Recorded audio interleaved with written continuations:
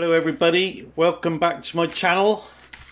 What I'm going to do now is carry on and make these counterbalance weights for the crankshaft. So I've got to make four of these and four of these straps. The straps fit over the crankshaft, the bolts go through the weights and you have a counterbore there so the nut will be within that inch and a half radius. So that'll be machined filled then and machined. So what I've got I've got this narrow strip which fits in that slot that I cut. That'll be for the straps. And then also for the weights I've got this flat here which I've already machined to the thickness of the cranks. So they'll be cut out. So before I cut them though I'm going to mark them all out drill all the holes and machine a little bit. There their recess which will then fit over the crank and then the bolts will be through there. So let's get on.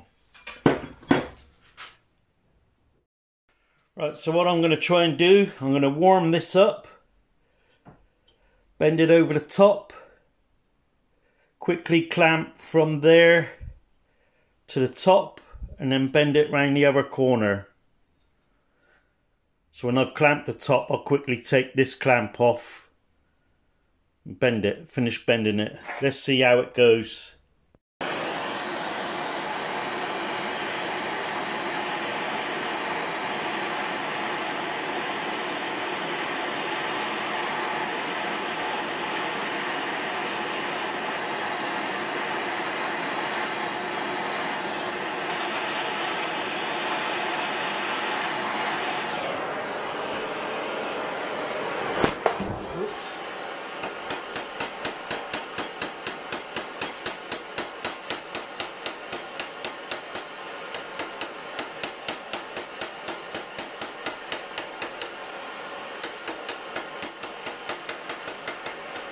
Beautiful.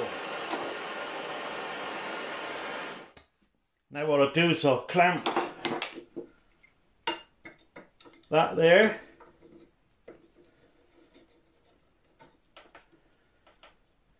And bend down the other side.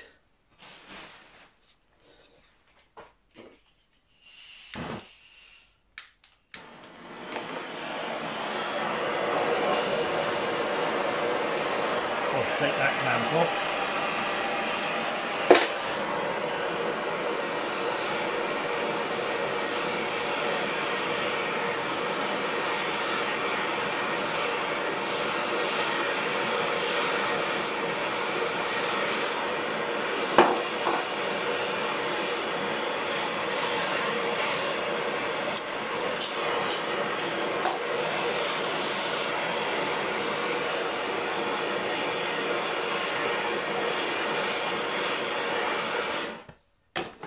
Tuck that down.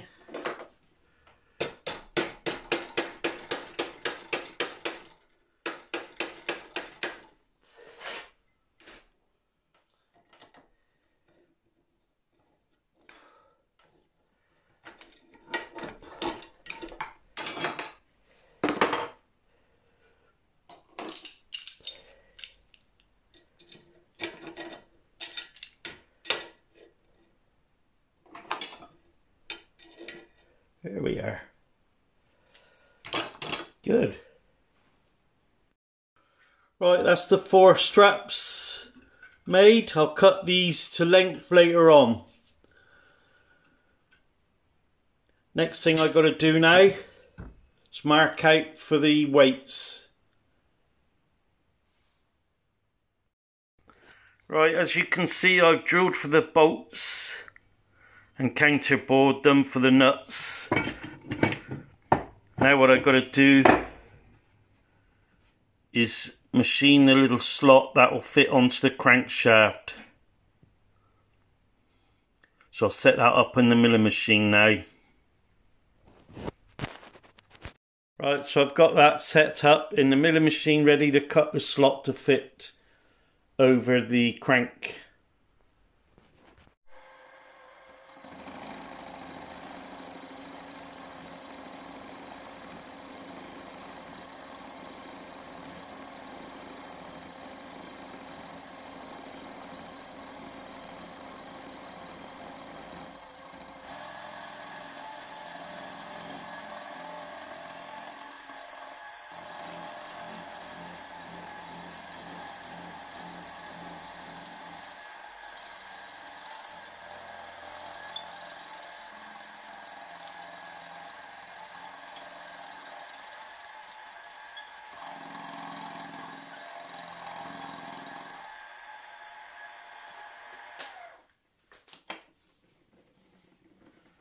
That's one slot done.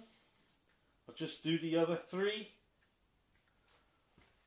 Right, that's the notches done. That'll fit on the cranks. Now I've got to cut them off to the angle.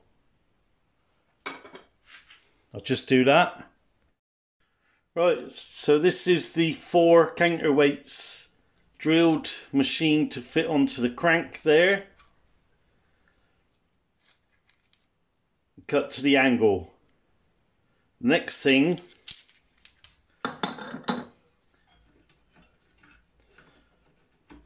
Is to trim the straps to length there. And then stick some studding on. Long enough. I'll just take that off. Long enough. So when that is on there to go through the weight, put a nut on and tighten it up.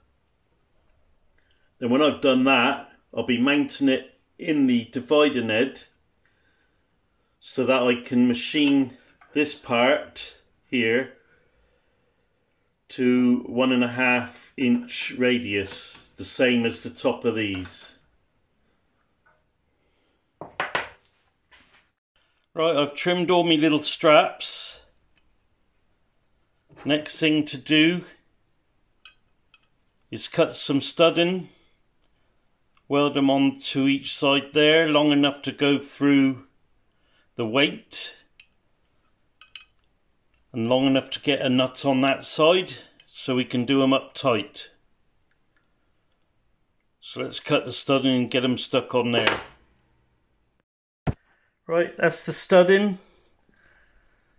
Brazed onto the little straps. What I did, I used my MIG welder just to put a little tack at the back there, stopping the uh, studding rolling around and that, and then I used my little torch and put a bit of brazing on there. That's both sides. Right, so we can now get the weights onto the cams. Right, so there we've got one weight bolted on with the straps. I turn it over. When I put it in the milling machine, it'll be machined to about that radius, inch and a half radius from the center of the crank there. So I'll just get all the other three bolted on. Right, that's the four counterbalance weights fitted on there. Now I'm going to mount it in the dividing head and then machine each weight to roughly that diameter, that radius, sorry. It's about inch and a half from the centre of the shaft to there. Right, let's get that set up then. And here we have the crankshaft fitted into the dividing head, ready to machine the radius on the counterbalance weights.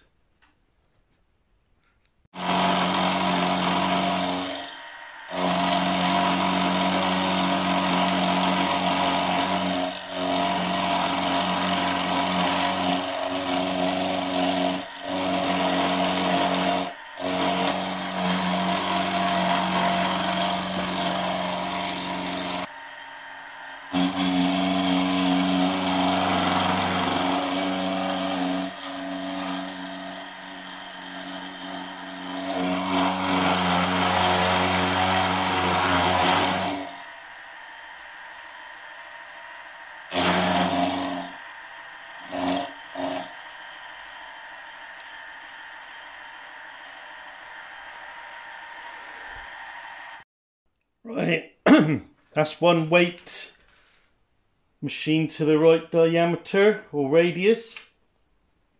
What I'm going to do now is take this out of here and cut the excess material off first because it took quite a while to machine that off. Right, that's the counterbalance weights all machined to the right radius. I'm very happy with that. What I got to do now is just fill those holes up. I'll do that with a little bit of liquid metal, I think. Right, that's the crankshaft finished. I'm very happy how that went. It's quite a bit of work in the little thing. So now everything on the back end, all the gears are made. Crankshaft, second shaft, third shaft down to the main drive down there behind the wheel. Right, so now all the parts are made for this back end here. All the shafts and the gears. I can now start machining the bits that I've got to fit onto the boiler. I'm going to start off with a manifold. This little thing here this has got to be faced up. On this face there will be three holes. One will be for a steam outlet which will go to a pump of some kind. The two other holes will be drilled and tapped here. In this little knob there, there'll be a little steam outlet which will go to the pressure gauge, which I'll have to put another hole in the rear spectacle plate. Two fixing bolts here and a hole straight up through the middle to allow the steam to come out of the boiler. That's the piece I'm going to start next.